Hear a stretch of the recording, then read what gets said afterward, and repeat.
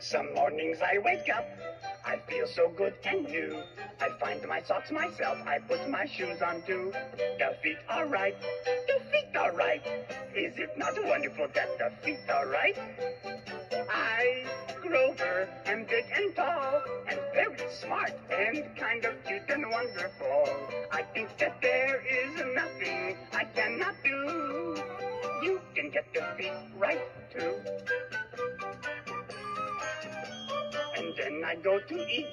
The cereal is not there. I see it on a shelf. I climb up on a chair. I get it down.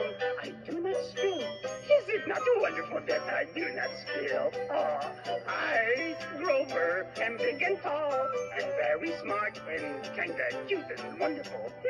I think that there is nothing I cannot do. You can learn to not spill too. Go outside and play. I bounce a ball and then I catch it right away and bounce the ball again. I stretch myself up tall. I reach my arms out wide. I climb up trees and I go down the slide. And you can do it too. Yes, you and you and you. Now every brand new day, I get another turn.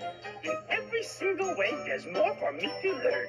It feels so fine. I'm growing up. Is it not wonderful that I'm growing up?